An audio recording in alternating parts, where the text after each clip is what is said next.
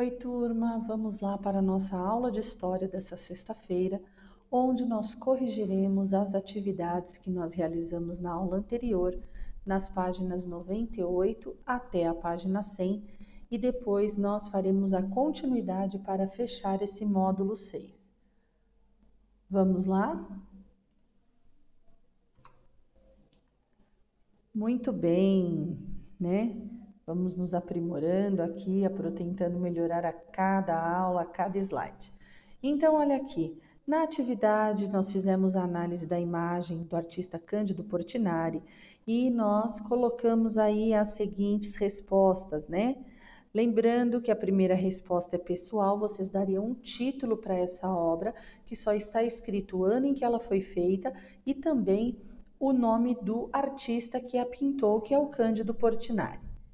Lá na página 99, nós temos também aqui, voltando aí na página 98, nós temos as características da rua onde as crianças estão brincando. Então, nós vamos observar a rua e colocar as observações que a Pro fez para estar colocando aí para vocês. Então, é uma rua de terra, ela é aparentemente tranquila, por quê? Nós não temos aqui, até pelo ano em que ela foi pintada, em que ela foi retratada, o movimento de veículos, de meios de transportes e também não há muito movimento de pessoas, apenas as crianças que estão aqui brincando. Nós também percebemos, né, que não tem iluminação, essa rua ela só tem um poste de iluminação, então é aquela rua bem interiorana que provavelmente fica bem escura no final do dia, certo? Confirmaram aí se a resposta de vocês está certinha?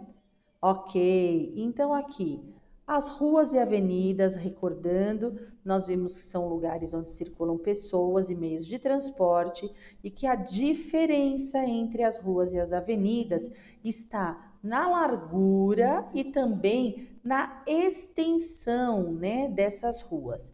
Então, nós temos aí a tarefa de estar analisando essas imagens de diferentes locais aqui do Brasil, onde nós vamos ver esses quatro itens que são sugeridos. A pavimentação, que tem a ver com o revestimento de uma estrada ou uma rua, o movimento de pessoas e veículos, a presença da vegetação e também a construção das margens, ou seja, o que é construído bem na beiradinha aqui, ó, da calçada para dentro dessas ruas e avenidas. Então, olha o que nós temos aí na nossa primeira imagem, que é essa imagem lá de Santa Catarina. Então, nós vamos ter a seguinte observação. A rua é uma rua pavimentada com paralelepípedos. Nós percebemos aí um movimento tranquilo, né? Não há muitas pessoas nem carros nas ruas possui árvores e canteiros com plantas e também algumas casas. Lembrando que vocês podem pausar o vídeo para estar verificando as respostas. Ok, turma? Muito bem. Na imagem que segue, nós vamos ter aqui uma imagem de São Paulo, que todo mundo já deve ter visto. É uma avenida, então, ela possui ó, o asfalto, a sinalização do trânsito, ela tem uma intensa, muitos veículos indo e vindo, ok? Não há vegetações aparentes, nós percebemos apenas as construções das pontes aqui, né? E dos viadutos, mas não vemos casas e não vemos também vegetações nessa imagem.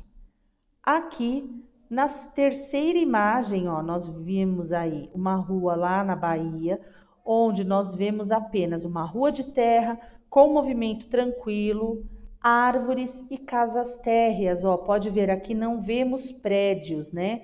Temos a presença de um morro ali ao fundo, as vegetações, mas não vemos a outra parte.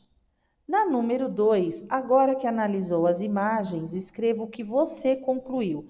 Mesmo sendo uma resposta mais pessoal, é importante você ressaltar, né, que as ruas e avenidas são locais onde as pessoas transitam e os carros também, cada um respeitando o seu espaço, pelo menos é o que a gente espera, e onde também nós temos a diferença entre ruas e avenidas.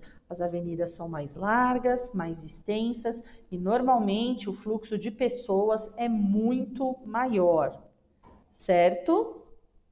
Fizeram aí as correções, agora nós vamos para as novas descobertas. Olha aqui a nossa turma como está esperando aí por essas descobertas. Vamos lá? Muito bem.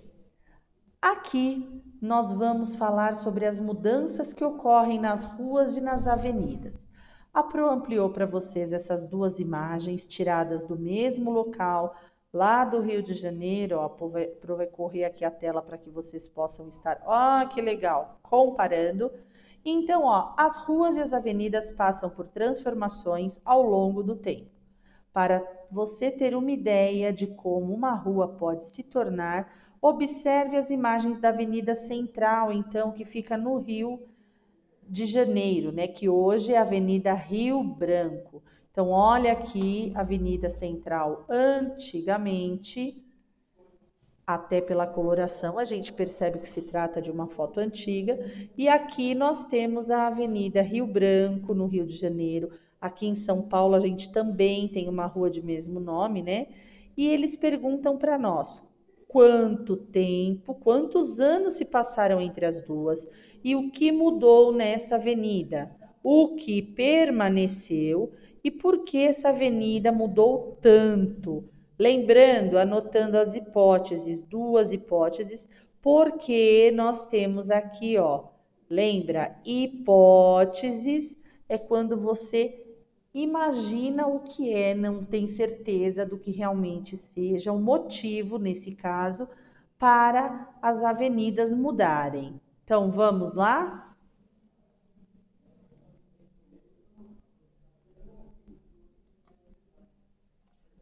Muito bem, olha o que nós temos aí. A Pro foi para o lado de novo.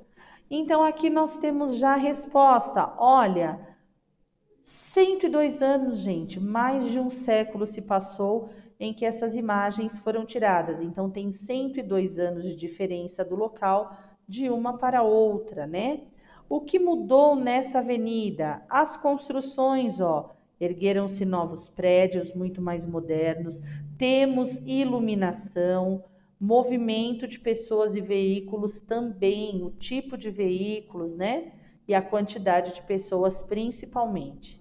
E o que permaneceu? Olha, se nós observarmos aqui essa parte da avenida, ela é um quarteirão de forma triangular.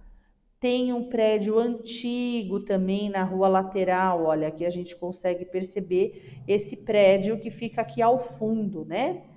Preservado aí, foi reconstruído, mas que manteve-se de pé ok? Número 2. Por que essa avenida mudou tanto? Anote duas hipóteses então.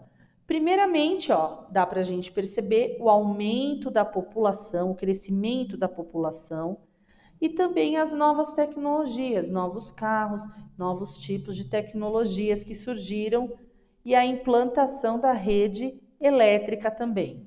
Certo, turma? Podemos ir para o próximo? Joia? Vamos lá. Próxima aqui, vamos para a próxima página. Aqui nós vamos ver o porquê, então, ver se nossa hipótese estava correta. Por que as ruas mudam? São muitos os motivos que provocam mudanças nas ruas e avenidas. Vamos conhecer algum deles? O crescimento da população e as mudanças no modo de viver das pessoas exigem mais moradias, supermercados, bancos e etc.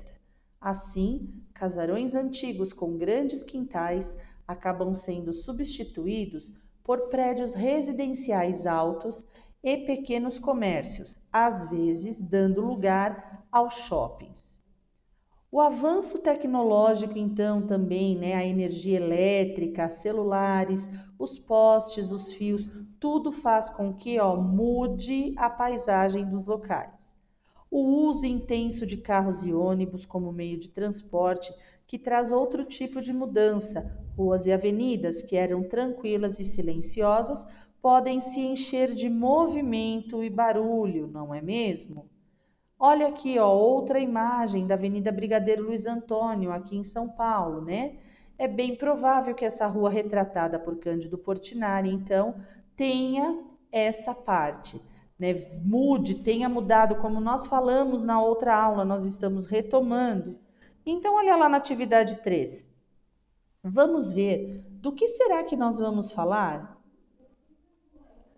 Nossa, Pro, cada desenho esquisito. Que imagens são essas? E o que significam essas linhas amarelas? Hum, vamos ver quem acerta. Quarteirões. Quarteirões? Que palavra mais esquisita, né? Mas a gente já ouviu falar e já conhece também. Vamos ver? Os quarteirões, então, são os espaços que nós temos, delimitados normalmente por quatro ruas e que podem ter formatos diferentes. Por isso, nós estamos mostrando ó, essas imagens de diferentes quarteirões. Ao contrário do que muita gente pensa, os quarteirões, eles não são somente de formato quadrado, eles podem ter outros formatos também. Então, aqui você vai observar ó, respostas pessoais, tá? Mas lembre-se, procure estar dentro do contexto, ok? De rua em rua, os quarteirões. Aqui nós teremos outra atividade para nós fazermos. Então, ó, tá facinho para responder agora. Os quarteirões, também chamado de quadras, podem ser de tamanhos e formas diferentes. A Pro acabou de falar para vocês. Alguns são pequenos porque são formados de ruas curtas, outros são grandes, com ruas extensas. Os quarteirões podem ser retangulares, triangulares ou ter outros formatos, conforme você observou nessas imagens da página 113 e da página 104 também. E vamos lá para a atividade 4? Olha lá. Na atividade 4, nós temos que colorir aí essa imagem de um quarteirão. Então, o que nós faremos? Nós pintaremos os limites dos quarteirões. Olha, nós temos quarteirões de diversos formatos. A Pro fez um para que vocês possam ver. Então, todos esses quarteirões, eles devem ser colocados limites na cor vermelha, ok? Ó, um triangular e mais outro quadrado. Perfeito? Agora, pinte de marrom as ruas e avenidas. Então, nós temos aqui esta avenida que nós vamos pintar de marrom, respeitando a faixa dos pedestres. Aqui atrás, ó, então toda essa parte de ruas, ó, avenidas, e as ruas no entorno dos quarteirões serão pintadas de marrom. De verde, as áreas. Então, o que a Pro fez para facilitar para vocês? Porque, como se trata de pintura, não pode errar, não é mesmo, turma? Então, olha lá, aqui nós vamos pintar as áreas verdes que nós temos. De cinza, ó, os prédios, certo?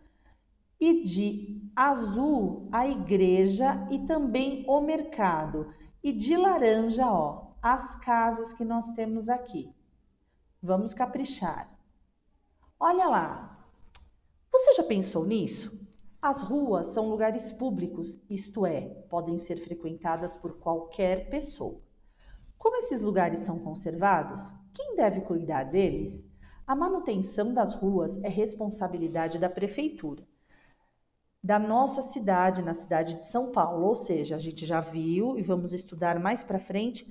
Cada cidade possui um prefeito para cuidar de toda essa administração, tá?